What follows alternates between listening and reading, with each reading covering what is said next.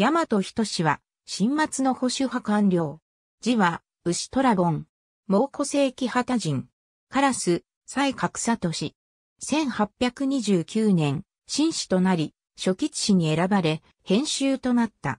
その後、中将、時効、自読、書士、時効学士、自読学士、戦時、代理事教を歴任した。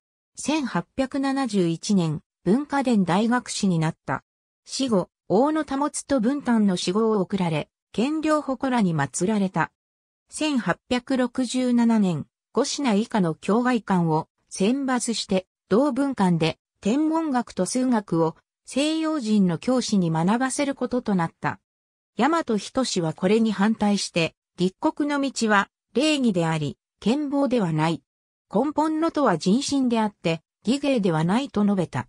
さらに外国人の教師が精神性人材を育成するか疑問を持ち、偉人を主とする用務運動に強硬に反対した。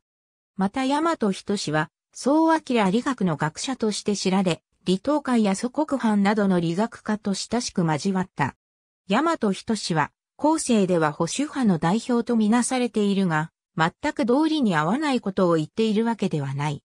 大和仁氏は、真の人材育成は、真の実情に合わせて清自身が着手すべきことで、盲目的に西洋の学問を真の土壌に移植しても効果がないと指摘しているのである。当時の洋務派は、この大和仁氏の言論を無視することができず、例えば、表敬墳は全国から有能な人材を集めるにあたって、西洋人の教師から外国語と数学を学ばせ、国内の教師から経営学と私学を学ばせるべきであると主張した。このような西洋の学問を重視しつつ、中国の学問も軽視しないという発想は、後に、蝶の洞の中大西洋の学説につながっていくのである。ありがとうございます。